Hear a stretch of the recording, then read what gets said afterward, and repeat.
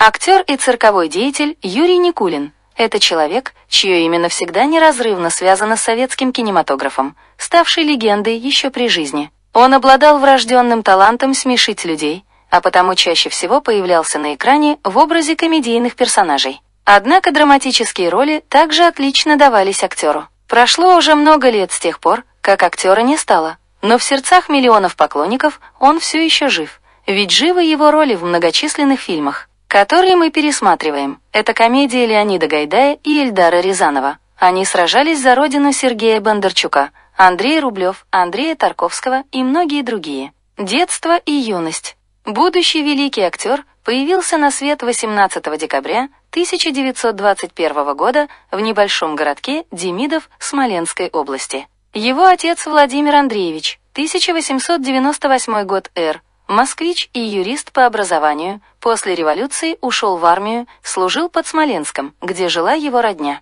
Незадолго до конца службы он познакомился с актрисой местного драматического театра Лидией Ивановной, 1902 год Р. Они поженились, молодой человек устроился в тот же театр актером. Позже он основал мобильный театр «Теревиум», что значило театр революционного юмора. Когда мальчику стукнуло четыре, семья переехала в Москву, в пятнадцатый дом Токмакова переулка. Глава семейства занялся литературной деятельностью, писал программы для эстрадных номеров, работал журналистом. Лидия Ивановна не работала, занималась домашним хозяйством. Два раза в неделю Никулины обязательно ходили в театр, после чего беседовали об увиденном. В 1929 году мальчик отправился в первый класс. Особого интереса к учебе он не проявлял, но с удовольствием играл в школьном драм-кружке, которым руководил его отец. На этой сцене Юра получил свой первый актерский опыт. Также он пробовал себя и в писательстве. Однажды написанный им рассказ получил второе место в районном конкурсе.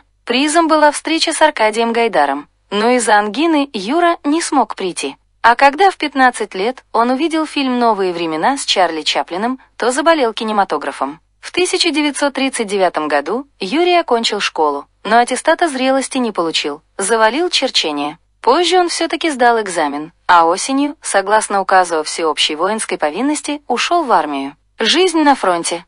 Часть, где служил Никулин, располагалась под Ленинградом. Первое время тощий высокий нескладный паренек в шинели не по размеру был причиной всеобщего веселья, но новобранец умел смеяться над собой, поэтому издевки быстро прекратились. Каждую неделю ему приходило множество писем от родителей и другой родни, столько не писали ни одному солдату в роте. Прошел всего месяц армейской жизни Никулина, как началась финская война. Юрий написал заявление «Хочу идти в бой добровольцем». Впереди было семь долгих лет в солдатских сапогах, шинели, с оружием в руках. В марте 1940 военные действия с северным соседом завершились, но военная подготовка, учения, занятия по политинформации продолжались. А потом наступило 22 июня 1941 года. Первые два года войны Никулин сражался в составе 115-го зенитного артиллерийского полка, заслужил звание старшего сержанта. После госпитализации из-за воспаления легких его перевели в другой полк,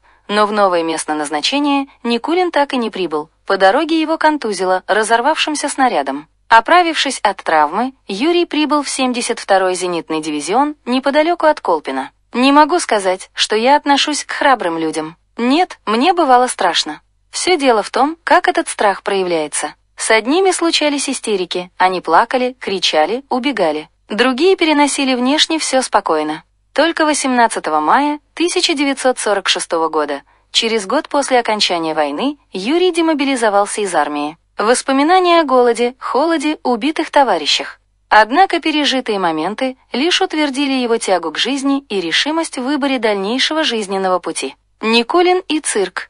После демобилизации Никулин подал документы в ВГИК, однако на финальном этапе получил отказ. Вступительная комиссия сочла его недостаточно красивым для кино и посоветовала поступать в театральное училище. Но ни в ГИТИС, ни в Щепку его не взяли, как и в несколько училищ рангом пониже. Он уже было опустил руки, но вспомнил совет, который ему дал во время прослушивания в ГИТИС на тот момент еще начинающий режиссер Анатолий Эфрос, предложивший абитуриенту в случае провала попытать счастье в театральной студии Ногинского театра. Совет помог. Руководитель театра Константин Воинов что-то разглядел в Никулине и принял его. Однако уже в сентябре Юра загорелся новой идеей. Его поманил своими яркими огнями цирк. Мама сомневалась. Театр казался ей делом куда более благородным. Но отец, видевший свое очарование в профессии циркового артиста, дал добро. В цирковую студию при московском цирке, наставником в которой был знаменитый клоун Карандаш,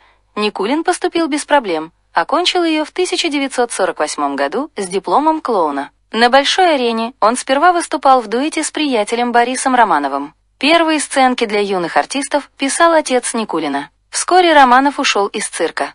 Новым партнером Никулина стал Михаил Шуйдин. Товарищи вместе выходили на сцену на протяжении 30 долгих лет. В 1950 году Никулин покинул труппу Карандаша, так как его верный напарник Шуйдин начал конфликтовать с начальником. Оба попросту устали от агрессивного капризного Румянцева, который мог в любой момент сорваться на своих подчиненных. А всего год спустя дуэт вместе со сценкой «Маленький Пьер», написанный отцом Юрия, впервые побывал за границей. По сюжету «Маленький мальчик» француз расклеивал оппозиционные листовки, а незадачливые полицейские в исполнении Никулина и Шуйдина его ловили. Успех дуэта выводил из себя их бывшего работодателя. Первые роли в кино. В 1949 году Никулина пригласили на кинопроба. Режиссер Константин Юдин думал утвердить его на роль трусливого немца в свой истерн «Смелые люди». Так Лоун впервые побывал на студии «Мосфильм». Но то ли пробы не понравились режиссеру, то ли этого персонажа вырезали из сценария. На этом участие Юрия в проекте Юдина закончилось. А позже он узнал, что на эту роль утвердили Григория Шпигеля. Дебют Никулина в кино состоялся лишь 9 лет спустя в фильме «Девушка с гитарой», где он исполнил роль горе-пиротехника, чуть не спалившего магазин. Несмотря на совсем небольшую роль, артист хорошо запомнился зрителям. А в 1959 году актер отметился ролью проходимца Альберта Клячкина в фильме о трудной молодежи «Не подающиеся». И хотя у него были разногласия с режиссером в видении его героя, один видел Клячкина этаким рубахой парнем, а другой — флегматичным циником. И в целом этот опыт не понравился начинающему актеру. Как вспоминал позже Никулин, на экране все выглядело замечательно. В 1960 году на актера обратил внимание режиссер Эльдар Рязанов. Никулин приступил к съемкам в его фильме «Человек ниоткуда», но из-за бюрократических проволочек производство отложили на год. Актеров заменили, персонажа Никулина, неблагополучного молодого человека по имени Проша. Отдали Сергею Юрскому. Знакомство с Гайдаем. Но нет худа без добра. В те дни одно из представлений Никулина посетил Георгий Вицин. Чуть не надорвав живот от смеха, на следующий день он рассказал о талантливом комедианте режиссеру Леониду Гайдаю снимавшему короткометражку «Пес Барбос» и необычный кросс о приключениях пса и троицы преступников – Труса, Балбеса и Бывалова. Изначально Балбеса должен был играть Сергей Филиппов, но он уехал на гастроли с театром. Стоило Гайдаю увидеть Никулина, как он тут же произнес «Ну, Балбеса искать не надо». Никулин-то что надо? Фильм рассказывал историю браконьеров, надумавших оглушить рыбу динамитом. На их беду с динамитной шашкой решил поиграть пес – каждый раз приносивший ее обратно троице. После премьеры короткометражки в составе киноальманаха совершенно серьезно троица Вицин, Никулин, Маргунов необычайно полюбилась советскому зрителю, и в 1962 году последовало продолжение «Самогонщики». На этот раз криминальные элементы решили заработать на изготовлении самогона, но появившийся в их лесном домике пес вновь спутал все карты. В промежутке между короткометражками Гайдая Никулин сыграл главную роль в драме, когда деревья были большими, и доказал, что способен на драматические роли. Он играл Кузьму Иорданова, спившегося после смерти супруги человека, решившего усыновить сироту. Примечательно, что режиссер картины до этого не видел ни одной роли Никулина, но смотрел его представление в цирке. А в процессе работы над фильмом было решено снабдить Никулина бородой для пущего попадания в образ. Так, к своему сорокалетию Никулин, уже завоевавший статус признанной цирковой звезды, стал еще и звездой кинематографа. После этого последовали второстепенные, но яркие роли. В фильме Александра Миты «Без страха и упрека» он сыграл по сути самого себя, клоуна. В комедии Гайдая «Деловые люди» сыграл грабителя в новелле «Родственные души». Никулин принимал участие в съемках киножурнала «Фитиль», короткометражка «Влип». После этого предложения о съемках стали поступать цирковому артисту регулярно. Картины «Кавказская пленница», «Операция И», «Ко мне», «Мухтар». «Бриллиантовая рука», «Семь стариков и одна девушка». Они сражались за родину. А также многие другие стали классикой советского кинематографа и до сих пор являются любимыми лентами для миллионов людей во всех уголках бывшего СССР. Благодаря своим ролям в кино Юрий Никулин стал популярен во всех республиках Советского Союза, а также получил бесчетное количество самых разных наград, включая звание народного артиста СССР в 1973. Никулин в новую эпоху. В 80-е Никулин почти не снимался. Исключением стала школьная драма Ролана Быкова «Чучело» с юной Кристиной Арбакайте, где актер предстал в образе нелюдимого дедушки главной героини. Последней ролью Никулина в кино стал директор цирка и закадровый голос в фильме «Капитан Крокус» 1991 года. В начале 90-х Юрий Владимирович отметился в качестве телеведущего. В период с 1993 по 1997 он вел юмористическую передачу «Белый попугай» на канале ОРТ, а также являлся постоянным участником проекта «В нашу гавань заходили корабли». Также Юрий Никулин написал несколько автобиографий и выступил как составитель сборников анекдотов. Самые популярные у читателей произведения артиста – мемуары «Почти серьезно» и «Семь долгих лет». Первая книга рассказывает об изнанке кинематографа, вторая – о фронтовых годах актера. Личная жизнь Юрия Никулина. Первый раз Юрий влюбился еще в школе. Будучи нескладным 13-летним юнцом, он так и не решился признаться в своих чувствах, запавшей в душу сверстнице. В дальнейшем, в бытность солдатом, у него завязались отношения с девушкой по имени Рита. Она дождалась его с фронта, но как только Юрий сделал ей предложение руки и сердца, призналась, что влюблена в летчика. Надо сказать, что отношения Риты с другим мужчиной не сложились, а с Юрием они до конца жизни поддерживали дружеские отношения. Зимой 1949 года актер, делавший первые шаги на профессиональной цирковой сцене, познакомился со студенткой Тимирязевской академии Татьяной Покровской, которая была младше артиста на 8 лет. Она увлекалась конным спортом, и одна из лошадей, как раз любимица Татьяны, понадобилась клоуну-карандашу, в подчинении у которого в то время ходил Никулин. На выступлении, которое девушка пришла посмотреть, лошадь проявила норов и затоптала клоуна. Татьяна чувствовала свою вину и в течение месяца регулярно ходила навещать Юрия в госпиталь. Вскоре артист сделал возлюбленное предложение.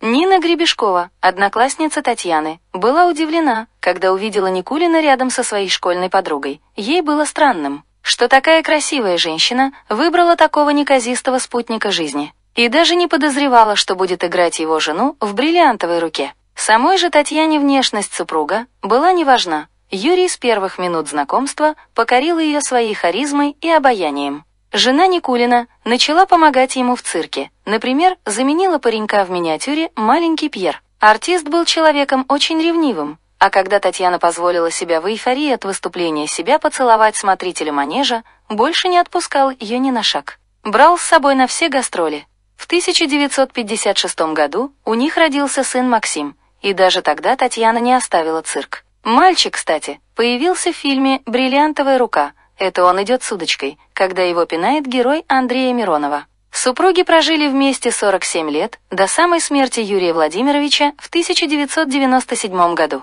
По воспоминаниям близких, они жили душа в душу, делили на двоих все невзгоды и радости. Татьяна скончалась в октябре 2014 года на 86-м году жизни. Смерть и память. Изматывающий график подточил здоровье артиста. К 70 годам у него был диабет, проблемы с сосудами и печенью, боли в легких. Летом 1997 года к этому перечню добавилась невыносимая боль в сердце. Обследование показало закупорку главных сердечных сосудов. Актера начали готовить к операции, которая из-за множества осложнений обещала стать нелегким испытанием и для врачей, и для Никулина. Впрочем, на операцию артист шел с легким сердцем. До какого-то момента шло хорошо, но перед самым финалом произошло то, чего больше всего боялись врачи. Сердце народного кумира остановилось.